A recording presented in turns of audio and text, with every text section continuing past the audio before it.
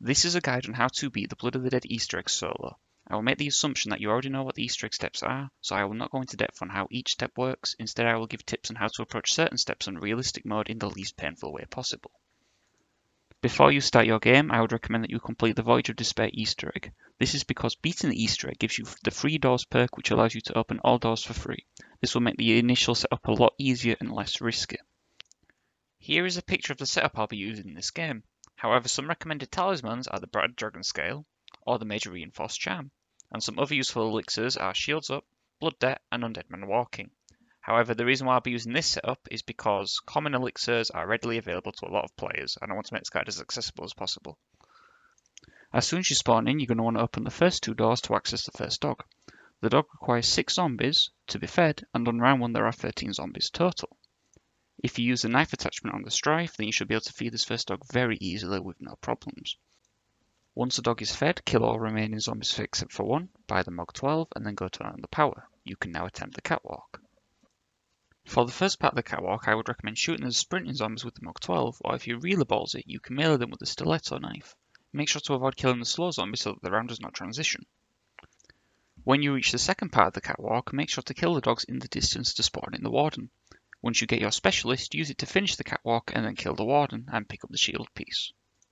Now you can open up the rest of the map, turn on power, buy Victorious Tortoise and Stamina up, and then craft the shield. Finally, you can end round 1 by killing the last zombie at the second dog head. Since you completed the catwalk on round 1, round 2 is the guaranteed dog round. The easiest way to kill the dogs is to drain them with the shield key, and doing this will guarantee you 2 charges on the shield for round 3. Your goal for round 3 is to feed both the second and the third dog, get the spoon melee weapon, get the free blundergat, and start the process of getting the magma gat. Feeding the second dog can be tricky as the area is very narrow and small. I would recommend killing one zombie, then running around the prison in a loop before feeding another zombie. On the screen you can see one route that I take. In general this is a very safe route, but sometimes the D-block corridor will be filled up by a lot of zombies. If you find yourself getting blocked, don't be afraid to use a shield blast to clear the path. Here is also another route that you can take.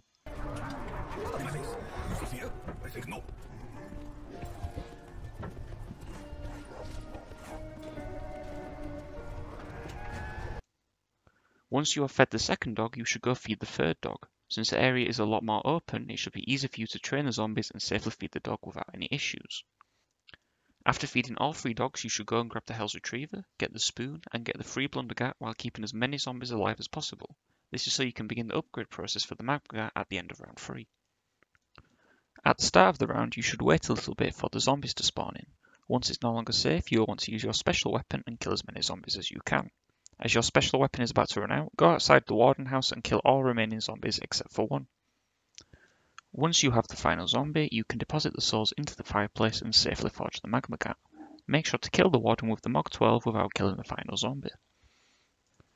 If you have the points to spare, you should buy Death Perception, turn on Pack-a-Punch, and buy Dying Wish.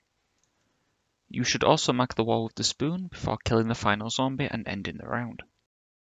Your goal for round 5 should be to get a level 2 special weapon because this is a requirement in order to do the Monkey Bomb Easter egg.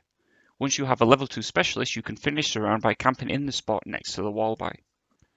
At the start of round 6, you should train in the cafeteria while getting the minimum amount of kills to fill up your specialist. Once you have your specialist, make your way to this area and slowly group up the zombies before killing them with your katana. It should be easy to get enough kills in one use of the specialist, and once your specialist runs out, you're going to want to use your magma gat before running away from that area. For the remainder of the round, just train in the cafeteria and save the final zombie. You will then want to go shoot the monkey statue, retrieve the monkey bombs from the spawn, and then input the code 666 to spawn in the warden. You will then want to use the warden to break down the wall to start the next step. You can see on the screen how I approach this. Remember to make sure that the wall has been scratched before attempting this step. If you throw the monkey bomb such that it makes contact with the wall and then stand behind the monkey bomb, you should be able to do this step without much issue. Once the wall is broken down, interact with the chair and pick up the glowing orb. Place the orb at the spawn, interact with the Kronorium, and then find and shock the first ghost bird. If you can afford it, you should also pack a punch to the magma gat before ending the round. For the next couple of rounds, you should just try and survive either by camping with the magma gat or by trading in the cafeteria. Make sure at the end of each round to save a zombie and find and blast the ghost bird. I would also recommend upgrading the shield while you are on the Ghostbird step. You can see on the screen how I approach this. You want to make sure that the zombie is far away before you hit the box. You should also preemptively start draining with the shield key so that if the lock appears you can turn it white and throw your tomahawk at it as fast as possible. The shield upgrade will be essential for certain future steps, but also the upgraded shield takes 5 hits to be broken by a zombie, whereas the standard shield takes 4 hits before being broken. Once you have retrieved the Kronorium from the final Ghost Bird, place it down at the Warden's house so we can start the challenges. Since the order for your challenges will probably be different from mine, I will have timestamps in the description for each challenge. The new Industries challenge can be quite a pain on solo, however with this method it should be fairly easy. Make sure you have 4 shield charges and a fully charged specialist before saving one zombie.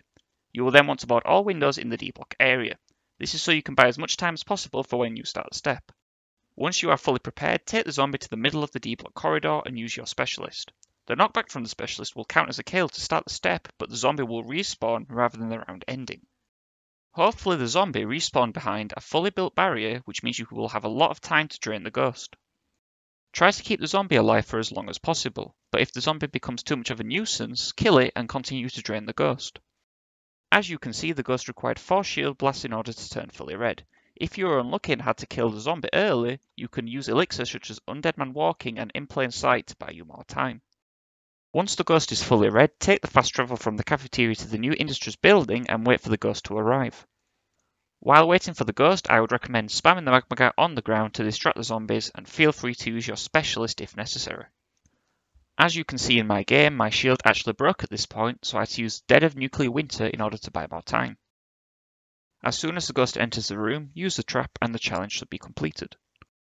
The first part of the Morse code challenge can be quite tedious on solo. I would recommend that you try to guess the first few entries of the Morse code correctly without using anything. Eventually you can start to use things such as the zombie blood, the in plain sight elixir, and the katana level 3 ability, which should give you enough time to guess the rest of the code. Once you have inputted the code correctly, kill a zombie in the infirmary to spawn in the ghost. I then recommend that you group up the zombies in the cafeteria before going back up to the infirmary area to shield blast the ghost. Once this is done, you should shoot the ground with the magma gat and hold the interact button at the ghost so that he starts to follow you. You should then pull out your katana, go invisible, and start to kill as many zombies as possible while working your way towards the gondola. When my specialist was about to run out, I used Dead of Nuclear Winter to clear the area so I could safely walk down the corridor and past the building bench. For the remainder of the journey to the gondola, I liberally spammed the magma on the ground so I could safely reach the gondola without issue. Continue to spam the magma until the ghost reaches the gondola and once he is fully inside, use the gondola. For the final part of the journey, continue to spam the magma in front of you while leading the ghost down the stairs. Once the ghost is over halfway down the stairs, you should be able to run to the red portal and camp there with the magma until the ghost disappears.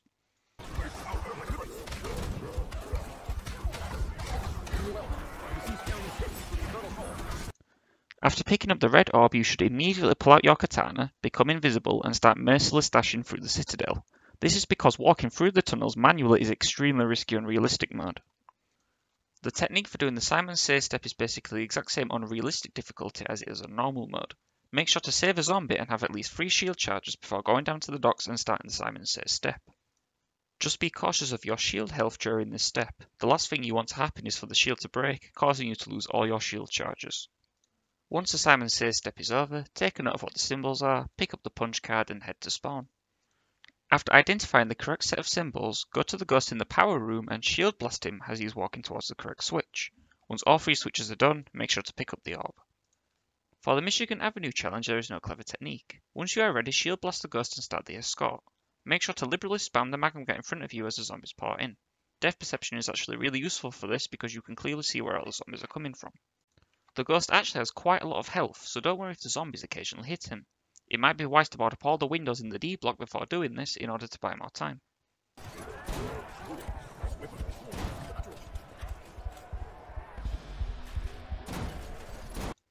Once I reach this choke point I use an in sight. This is to alleviate pressure from myself which allows me to easily kill all the zombies and escort the ghost through the door.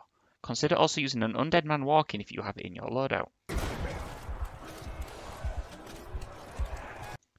At this point I use a specialist weapon, go invisible and continue to kill as many zombies as possible.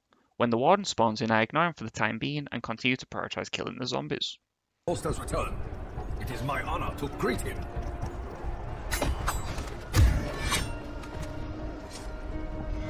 Once my specialist has run out, I spam the ground with the magma gat so that the warden runs over the lava and dies. You should then be able to finish the escort and pick up the orb.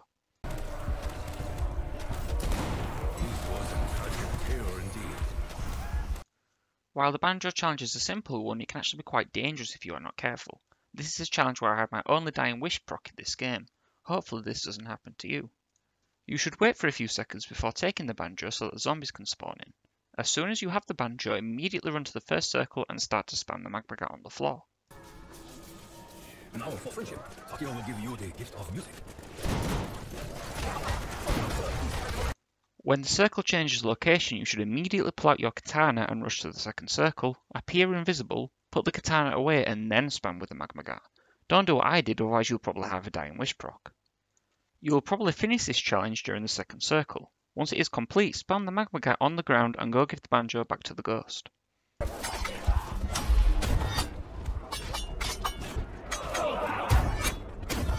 I have not prayed with such vigor Is that a bar fight in Kyoto. Since you won't be able to do all the challenges in one round, you will have to burn through some rounds. Because you are probably in the early teens now, it can become quite tricky to survive. I personally recommend that you train in the cafeteria as it is a great place for collecting zombie souls as well as just burning through the rounds. While training in the cafeteria you will probably take some shield hits. It is important to be able to repair the shield and run back to the cafeteria safely. On the screen you will be able to see a route that I take.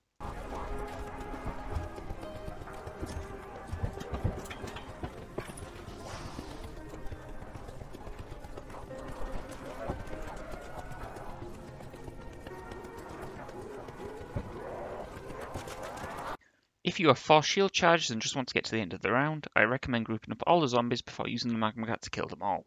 Make sure to kill any dogs that spawn by draining them with the shield key.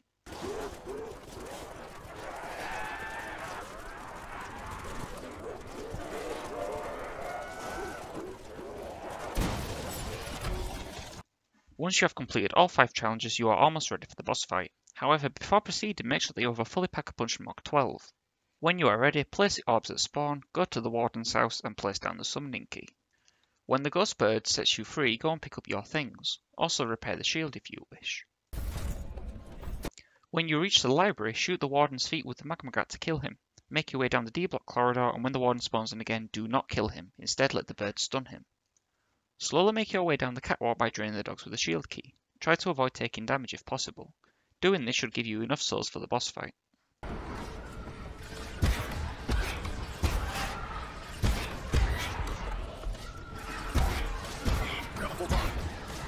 You should also be aware of the zombie hands that stick out near the end of the path. This is because they deal 10 damage each and it even goes through the Victorious Tortoise perk, making them very risky.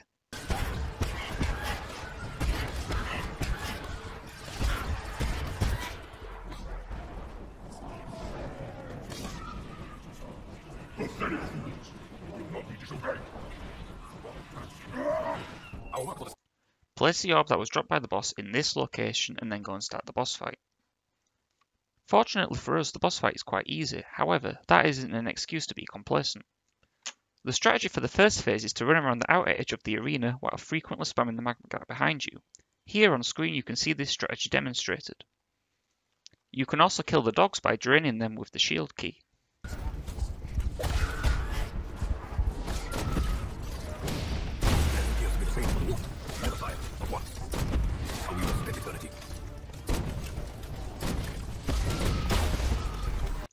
You can see here that a dog randomly spawned right next to me and hit me. This took me from 50 HP to 10 HP. If this happens, immediately pull out your shield and then drain any dogs to death. Keep running around with the shield until your HP recovers back to 50, and then continue the strategy as normal.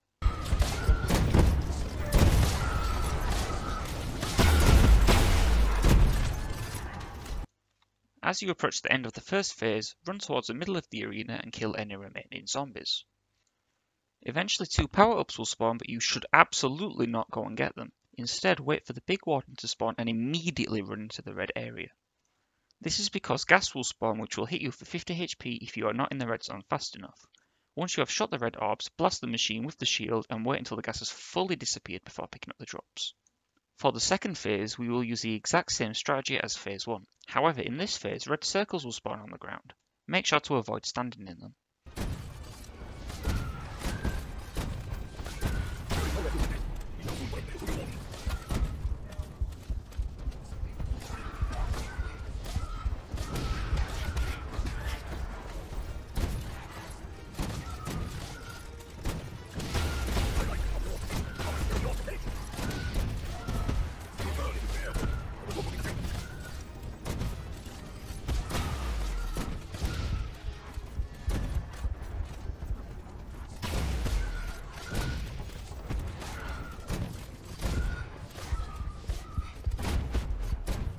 As you can see, we have reached the end of phase 2, and we will do exactly the same thing as what we did at the end of phase 1, making sure to get in the red zone as soon as possible, shoot the orbs, shield blast the machine enough times, and wait for the gas to disappear before picking up the drops.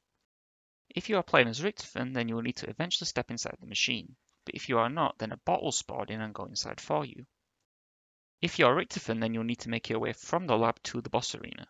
Once you use the orange crystal, you should immediately use your specialist and go invisible. Kill off as many zombies as possible before finishing the boss with a magma gat.